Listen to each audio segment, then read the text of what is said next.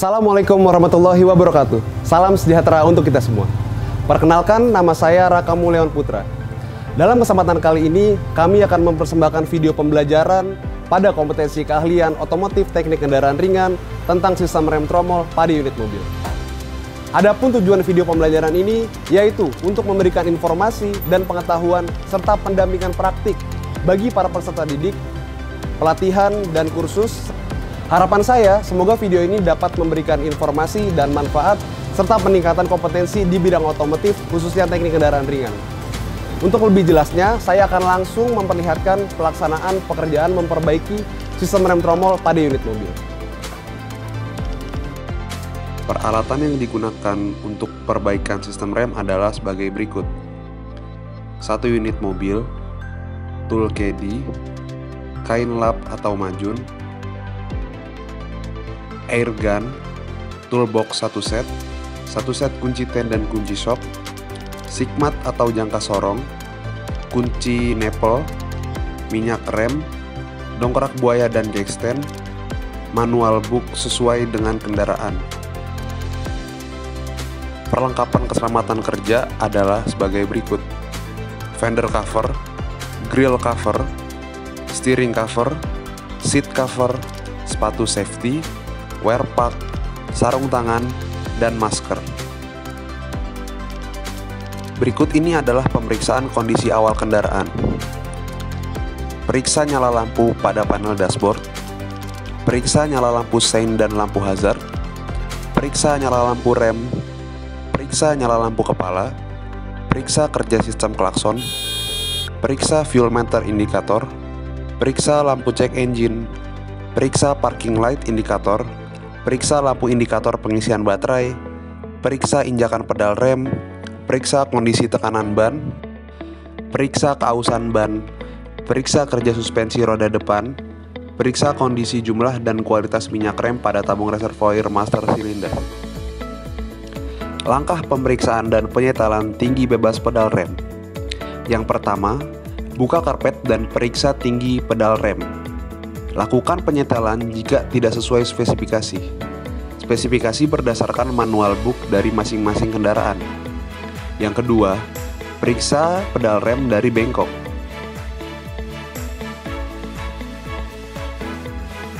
Langkah pemeriksaan dan penyetelan switch lampu rem. Periksa celah switch antara pedal rem dan bodi lampu rem.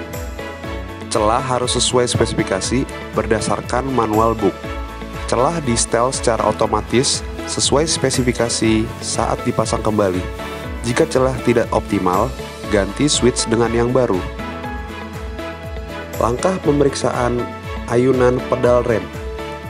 Buka karpet dan hidupkan mesin. Tekan pedal beberapa kali.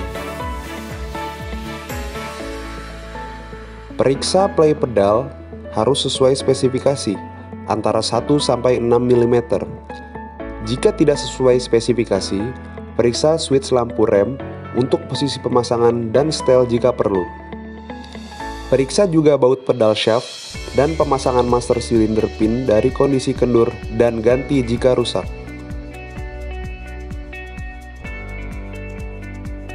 Langkah pemeriksaan kebocoran selang minyak rem. Periksa selang minyak rem dari kerusakan, retak, bocor, dan karat. Periksa pipa dari kerusakan, retak, bengkok, dan karat. Jika terjadi kerusakan, maka harus diganti. Periksa master silinder dan tangki reservoir dari retak, rusak, dan bocor. Pemeriksaan kerja booster rem. Hidupkan mesin, kemudian matikan mesin setelah 1 hingga 2 menit. Tekan pedal rem beberapa kali dengan beban yang sama pada pengereman normal dan perhatikan travel pedal. Jika travel pedal tidak berubah, maka tidak terjadi kerapatan udara atau tidak ada udara dalam saluran rem. Pemeriksaan kerja rem tangan atau rem parkir. Tahan bagian tengah rem tangan dan tarik ke atas. Kemudian, hitung jumlah klik saat ditarik penuh ke atas. Jumlah klik harus di antara 5 sampai 7.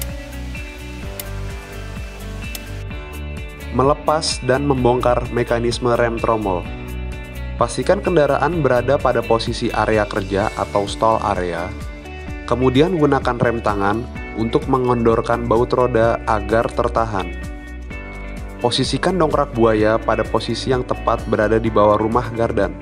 Lalu, angkat kendaraan. Pasangkan jack stand sebagai pengaman dan kemudian lepas baut roda belakang. Kemudian lepas roda belakang. Lepas tuas rem tangan, lepas tromol rem, dan tarik keluar tromol rem menggunakan baut 8. Ketika tromol dilepas, periksa wheel cylinder dari kebocoran dan perbaiki. Periksa kebersihan tromol, bersihkan menggunakan air gun jika terdapat kotoran pada tromol.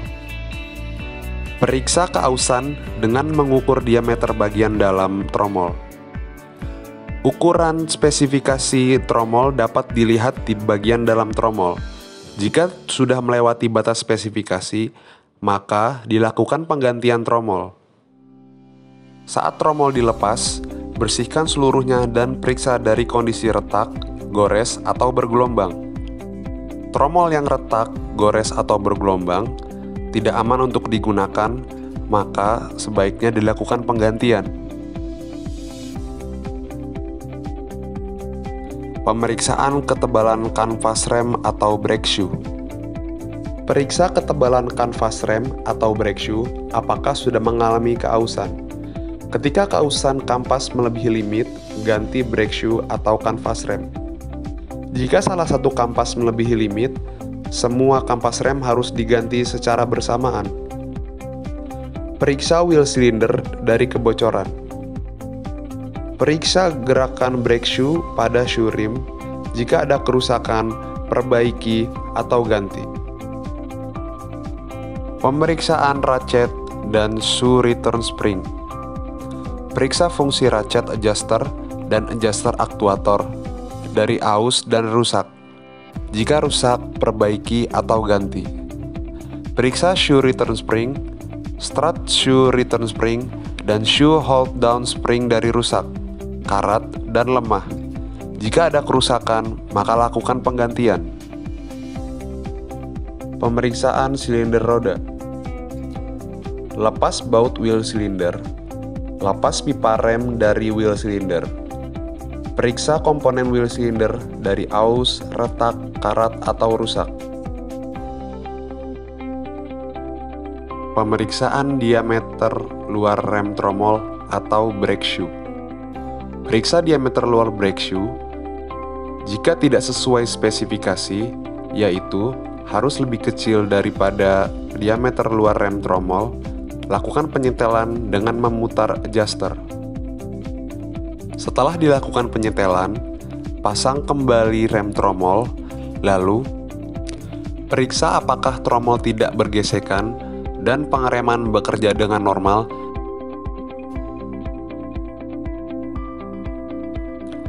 Langkah membleeding minyak rem. Bleeding minyak rem dibutuhkan dua orang. Satu orang bertugas berada di dalam mobil untuk menginjak pedal rem. Satu orang berada di luar untuk membleeding minyak rem.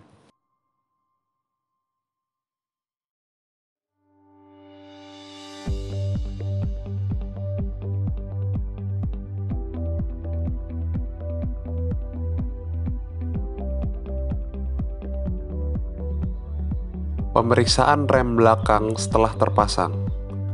Pasang ban dan periksa putarannya. Jika putarannya berat, periksa hal-hal berikut. Yang pertama, bearing roda. Yang kedua, kerataan drum brake atau rem tromol.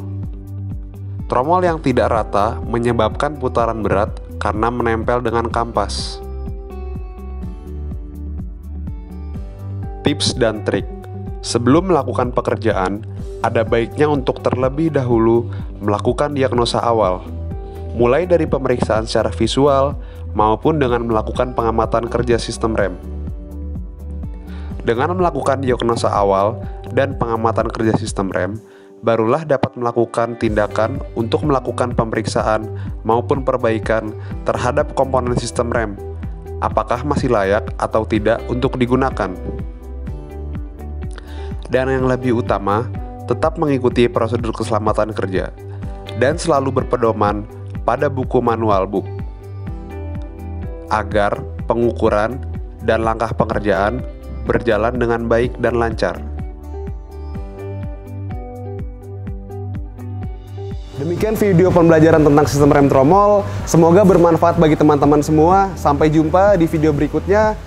Tetap semangat, jaga kesehatan, dan salam kompeten. Wassalamualaikum warahmatullahi wabarakatuh.